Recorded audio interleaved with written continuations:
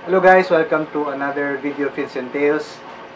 Ang video day nato karon is about kaning mga different types of filter nako.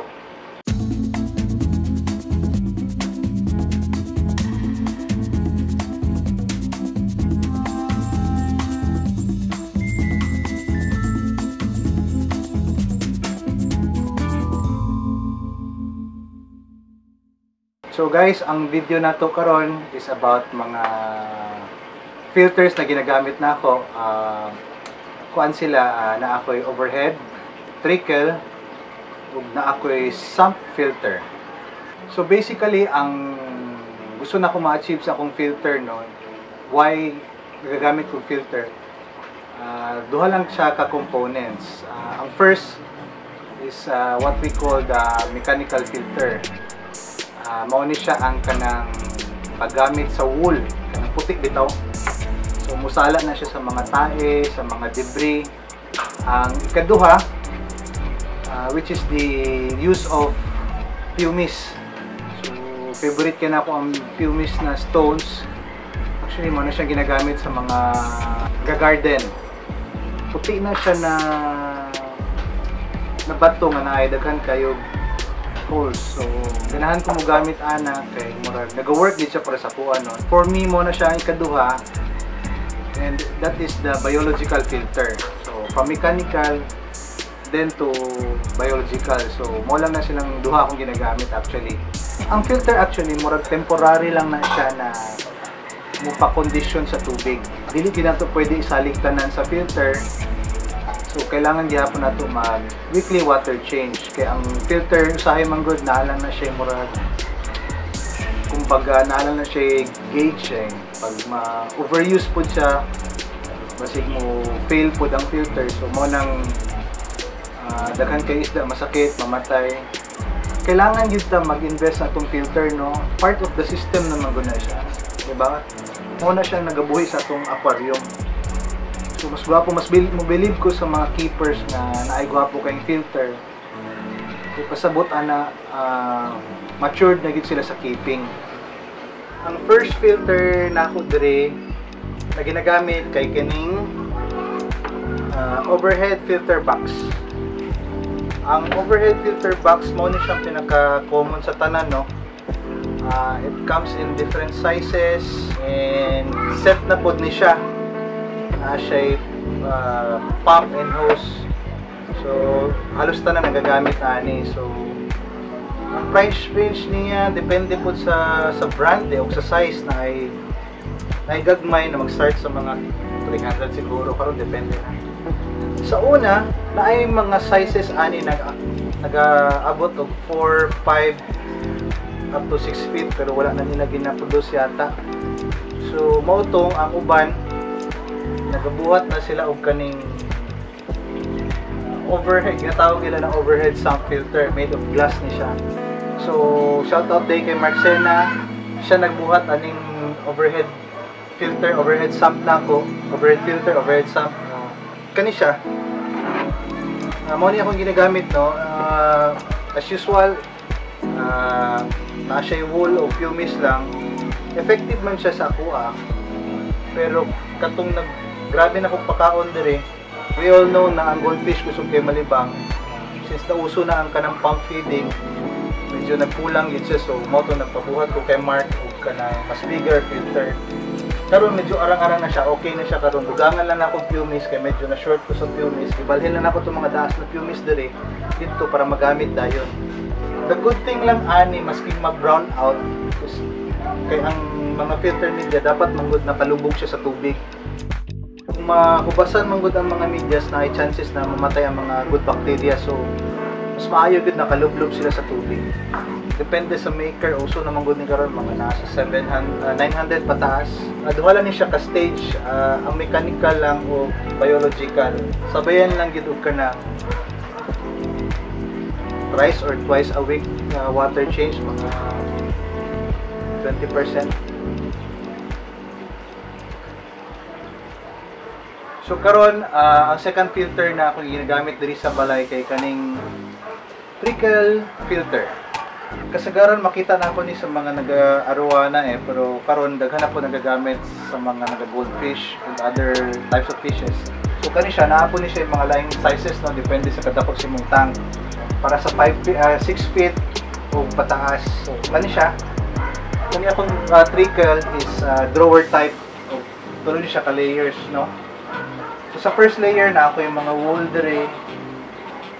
And the rest, pumice lang gihapon kaning duha, pumice, pumice, pumice.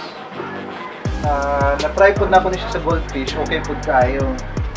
Uh, maybe because ang kanyang style magod sa pag-filter, no? Kanang trickle ba, nagatulo-tulo siya. Nagabagsak siya. Mura siya ka nang ginagamit sa coin na baki shower. Uh, ang, ang result magod sa kanang tubig na pisik-pisik, uh, buhi kay siya. Nag-produce siya oxygen so very very good kanya siya na filter for me. 5 feet by 20 by 20 104 gallons na apoy duha ka IT RTG Endly o isa ka Motoro Stingray pag maglimpyo ko ani hindi na ako ni ginilaptan kanilang din siya diri kanilang mga walls lang sa taas kung limpyuhan man galing ako ng mga humis na ako, mga bacteria house, dili na ako sa ginasabay. Pwede kanisa, sa sunod na week, kanina pod. Sa sunod na week, kanina pod. Para dili mamatay ang bacteria ba. Naman ko uban nag, nag water change sila. Nila pag inihilap tantanan, so na-reset ang system nila. Wala na good bacteria. So pag utanan, ano to na chances na ah, gimapagan na isda. Kani siya uh, napalit na si Ursel Hello Ursel sa Cagayan katong nagapinig uh, goldfish show. Mag-range ni siya depende po sa sizes no? Kani siya uh, nasa murag 2.5 pataas. So dali kay siya ano uh, 21 kay open siya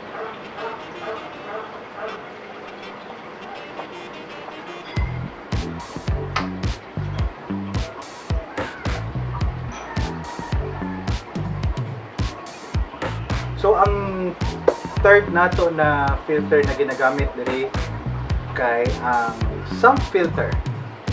So background lang sa tangke, uh, napalit na ako sa second hand kay Jonas. Barato kayo. So pag sulti na sa kuha na yam mo presyo so wala na na akong i pinunaan pa. Canopy suga 6 by 2.5 by 2 1 half glass stand and sunk for 10,000 so ako na din siyang gi-grab so sulit kayo ni na ano sulit kayo ni na purchase. No? so karon na siya yung mga goldfish from Landong. Uh, taga-harvest dito nagakuha ako para i-grow lang na ako doon para makita namon ni Didi kung saan ilang mga itsura, okay ba, kung i-breed ba siya usab, or for safekeeping na mo. Diri. So kung kailangan na siya, kailangan breeder, makuha ni Diri para sa mo uh, linyada. So, inakip na ako Diri. Ang sump na adili sa silong, no, it's a 75 gallon uh, sump The same gihapon akong ginagamit. Uh, first stage, mechanical, wall lang tanan, ug na gamay jump mat. And the rest na chamber, chamber 2, 3, uh, puno na fumis tanan. And the last chamber, kay na ako Rio na pang. Uh, gwapo kay siya na filter ang sump because it can filter a large volume of water, no? Ang mga trickle manggod, overhead, okay mangyapon sila. Pero panigid, uh, bigid ko mo problema. So far, uh, sulit kayo. Medyo dako lang ang gasto gamay kay dako lagi. Dako siya volume of water na ma-filter. So, kailangan good ang media sakto-sakto good para dili mag dali mag-fluctuate ang imong aquarium or, or imong system. So, nakagwapo po daning sump, no? Kay mababad ang mga media sa tubig. So, maski pa mag brown out, dili magka-circulate, tamang yung siya pundo tubig. So, chances are, kung hindi na bacteria. The system works for me. Katong wool, o kaning two stones.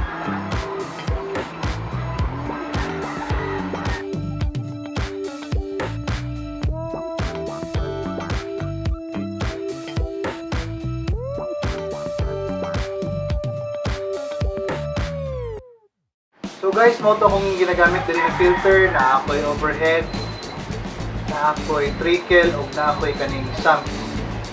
Tanan sila okay. And they perform well for me. Okay ang output sa akong mga isda, sa growth. Ang advice lang gina ako siguro, in addition to having a good filter, no, maintenance. Kanang diligent lang yun sa mag water change, mag-empty po sa itong filter. So sa maintenance lang yun, water change, mao lang man siya. Aside from that, always remember na pag set up mong aquarium, una-una ka sa siguro kung saan filter yung gamiton. Ask around, pumunta na kung sa iba kong filter. Before ka siguro magpalit ng pump. Diba? Eh, importante yun ang filter, no? Aside from that, dili ka ma-short sa inyong pump. Ang basic requirement tungkol sa sa atong pump na ginagamit, kailangan at least maka 2 times or more ang tuyok sa tubig sa filter. Kailangan mo agi ang tubig sa filter mga 2 or 3 times more in an hour. So, kanang effective yun kayo na siya. Kailangan pilitin mo ratio sa pump o sa imong filter o sa imong tubig. Nasabayan lang ginako siya ka ng uh, maintenance, which is water change, saktong pangulago. So, thank you for watching. Unta na mo yung natunan. Uh, sa mga bago diri sa channel, please like, share, and subscribe dito sa baba. Kung na may mga questions, comment down below lang para matubag na ako. Thank you for watching.